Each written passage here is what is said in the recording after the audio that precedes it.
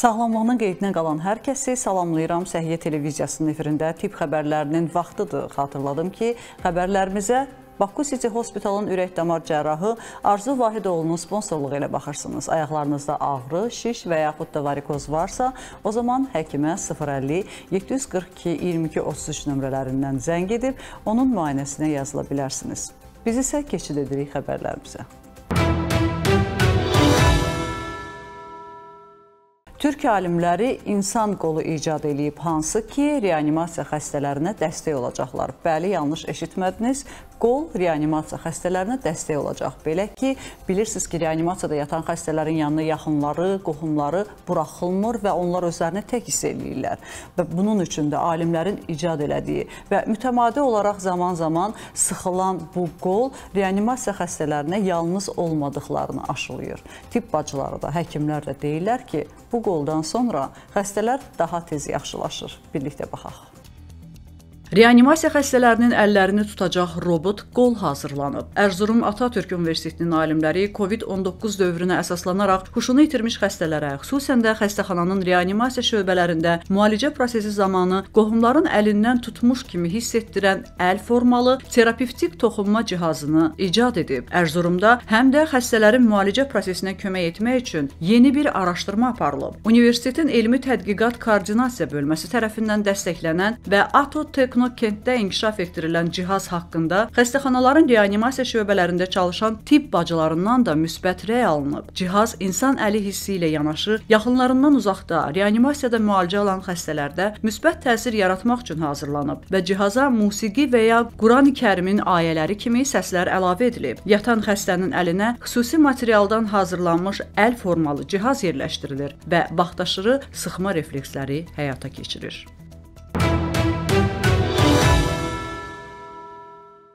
Bioloji təbabət klinikasının onkoloqu nəyə görə qadınlarda yumurtalıq xərçəngi yaranır, bu barədə danışıb və əgər bu simptomları bilmək istəyirsinizsə və yaranma səbəblərini aradan qaldırmaq istəyirsinizsə, o zaman diqqətlə izləyin, çünki bilmək hər zaman bir addım öndə olma deməkdir. Xərçəng bütün dünyada ürək-damar xəstəliklərindən sonra ən çox ölümə səbəb olan xəstəlikdir. Üstəlik bu xəstəlik günü-gündən cavanlaşır. Xərçəngin qarşısının alınması üçün düzgün həyat tərzi çox vacibdir. Bu sözləri STV xəbərin qonağı olan onkoloq Rəana Niftəliyeva deyib xərçəngdən qorunmaq, onun qarşısını almaq, hətta ondan tam sağalmaq da mümkündür. Bu qorunmağın yolları bilmək üçün insanlar maarifləndirilməlidir. Xərçəngi əmələ gətirən səbəbləri bilməlidirlər və onların qarşısını almalıdırlar və xərçəngin əmələ gətirən səbəblərin ən başlıcası siqaretdir, tütün məhsullarından istifadə etməkdir. İkinci yerdə düzgün qidalanmamaq durur, yəni balanslı qidalanmamaq, karbohidratlardan və yaxud da ət məhsullarından hazır paketlənmiş, tüstüyə verilmiş ətlər ət məhsullarından, kolbasa, sosislərdən çox istifadə, fast foodlardan çox istifadədir. Eyni zamanda meyvə tərəvəzdən az istifadəsi, həddən artıq qida qəbul edərək e, piylənmə özü e, xərçəng xəstəliyinin yaranmasına səbəb ola bilər. Digər səbəblər xərçəngin əmələ gəlməsi az faizlə infeksiyalar burada rol oynayır. Papilloma virus infeksiyası, HIV infeksiyası və s. Həmçinin onkoloq qadınlarda rast gəlinən yumurtalıq xərçənginin də simptomlarından danışıb. Yumurtalıq xərçəngi qadınlar arasında hər yaşda rast gəlinən bir şişdir bədxassəli törəmədir. Yumurtalıq xərçəngi yaş artdıkca daha çox rast gəlinir.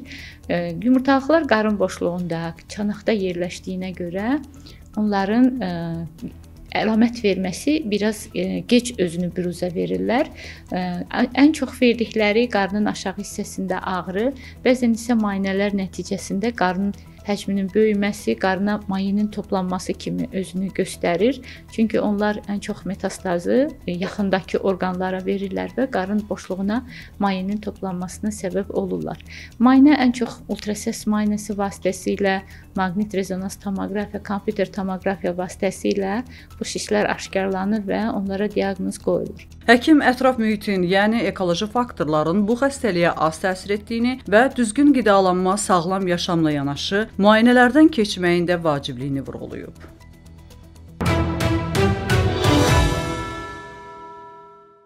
Aprelin 27-sinə qədər bütün dünyada immunizasiya həftəsi sayılır. Məsələ burasındadır ki, uşaqlara körpə vaxtından vurulan bəzi Dərmanlar onları həyatı boyu müəyyən xəstəliklərdən qoruyur. Təbii ki, elə valideynlər var ki, bu peyvəndlərdən tamamilə imtina edir. Elə valideynlər də var ki, çox dəqiqliklə bu peyvəndləri uşaqlarına vurdurmağa nəzarət edirlər. Bəs siz hansı valideynlərdənsiniz? Ümumdünya İmmunizasiya günündə siz də öz fikrinizi şərhlərdə bildirin.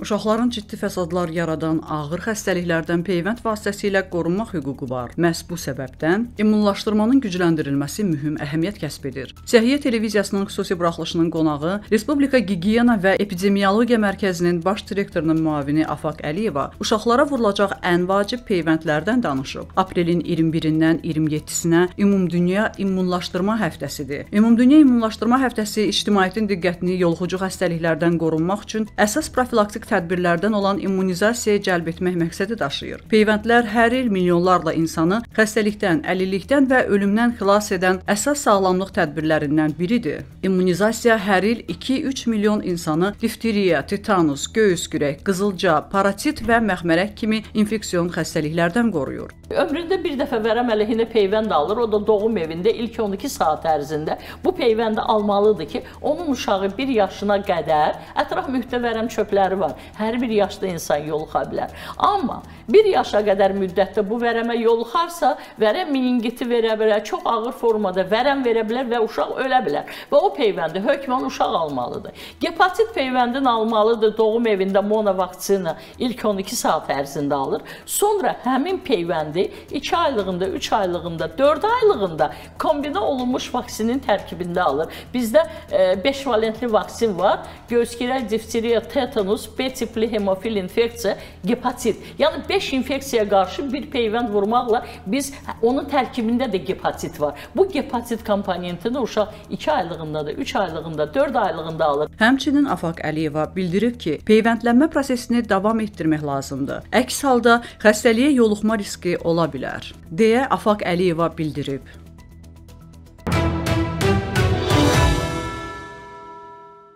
Gələn həftə Barselonada 187-dən çox infeksionist bir yerə toplanacaq.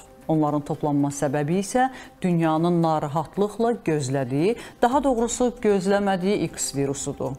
Narahatlıq doğuran virusun adı isə X-dir. Yəni heç adını da bilmirlər, amma indidən bütün alimlər narahatdılar və artıq bunu beynəlxalq müstəvidə müzakirə eləməyin vaxtı çatıb deyirlər. Alimlər yeni pandemiyaya səbəb olan virusun adını açıqlayıb. Onların fikrincə xəstəliyin 57% ölümcül yoluxucu xəstəliklərin yayılmasının səbəbi olacaq. Araşdırma aparan Köln Universitetindən John Garcia bildirib ki, virus dünyanın ən böyük pandemiya təhlükəsidir. Cəmi 187 böyük elm adamının daxil olduğu sorğunun təfərrüatları gələn həftə sonu Barselonada keçiriləcək Avropa Klinik Mikrobiologiya və Yoluxucu Xəstəliklər Cəmiyyətinin konqresində açıqlanacaq. Tədqiqatda iştirak edən mütəxəssislərin 21%-nin fikrincə qripdən sonra pandemiyanın növbəti ən çox ehtimal olunan səbəbi çox güman ki, elmə hələ də məlum olmayan X xəstəliyi adlandırılan virusdur. Onlar inanır ki, növbəti pandemiyanın səbəbi SARS-CoV-2 virusu kimi hələ müəyyən edilməmiş bir orqanizm tərəfindən ortaya çıxacaq. Bəzi elm adamları hələ də SARS-CoV-2-nin təhlükə alaraq qaldığına inanır. Sorğuda iştirak edən alimlərin 15%-i bunu yaxın gələcəkdə pandemiyanın ən çox ehtimal olunan səbəbi kimi qiymətləndirir. Plastikləri özümüz icad elədik. Yəni biz insanlar indi də heç cür ondan qurtula bilmirik ki, bilmirik. Gah ödümüzdə aşkar olunur, gah beynimizdə aşkar olunur, gah da ürəyimizdə. Bəs bu plastiklər bədənimizə hava, qida vasitəsilə daxil olandan sonra bədənimizdə nələr baş verir? Bilmək istəyirsinizsə, sujetə baxın.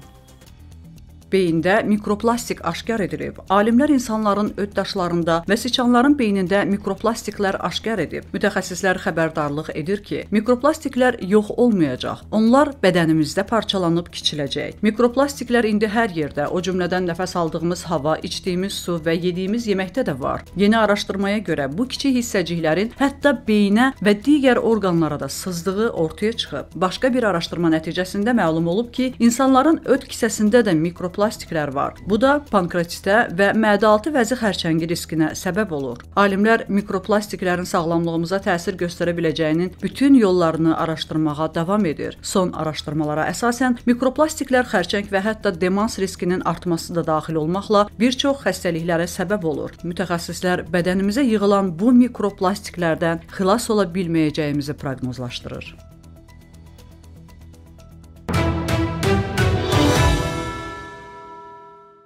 Vampirin nə olduğunu yəqin ki, bilirsiniz, filmlərdə rastlaşmısınız. Bu vampirlər insan qanı içir, nəticədə insan başqa bir məxluqa çevrilir. Alimlər isə insanların qanında vampir effekti yaradan bakteriyalar aşkar ediblər və onlar iddia eləyir ki, 3 bakteriya insan bədənində olanda həmin adamlar özlərini vampir kimi aparırlar. Birlikdə baxaq.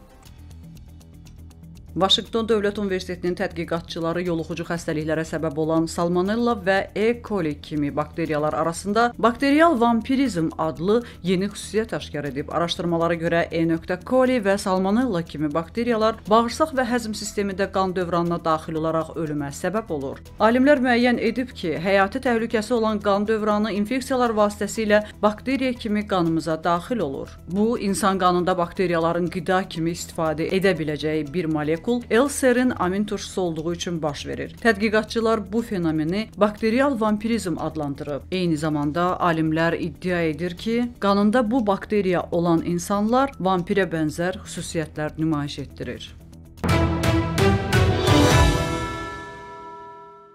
Bugünə olan səhiyyə xəbərlərimiz bu qədər. Dünyada və ölkədə baş verən ən son tibb xəbərlərini Səhiyyə kanalında izləyin. Eyni zamanda xəbər oxumağı bəyənirsinizsə, sağlamolun.az saytından tibblə bağlı bir çox maraqlı xəbərləri məhz oradan oxuya bilərsiniz.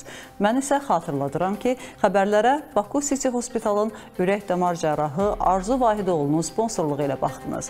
Ayaqlarınızda şiş, ağrı və yaxud da varikoz varsa, həkimin qəbuluna yazılmaq üçün 050 742 22 33 nömrələrinə zəng vura bilərsiniz. Özünüzü və doğmalarınızı qoruyun. Sağ olun, sağlam qalın.